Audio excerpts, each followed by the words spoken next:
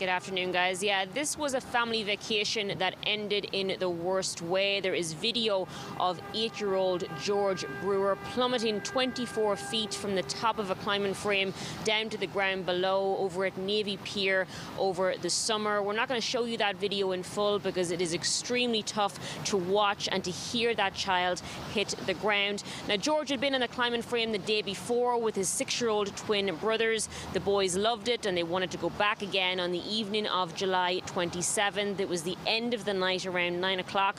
We're told the employees at the attraction gave George the go ahead to start off on the wall. But as George hit the timer at the top and let go to rappel down, his parents, Erin and Gideon, who were watching and cheering him on, realised something was terribly, terribly wrong.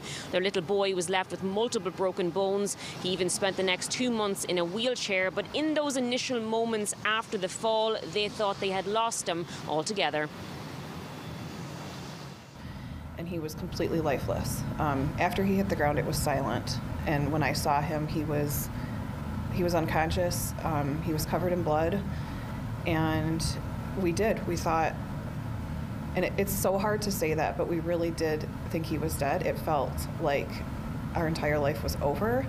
I mean, hindsight's 2020, but I mean, for every parent out there that's taking their kids to Navy Pier or anywhere else for that matter, I mean, you have to be an advocate for your child and make sure that the people that are doing what they say they're doing are actually doing it.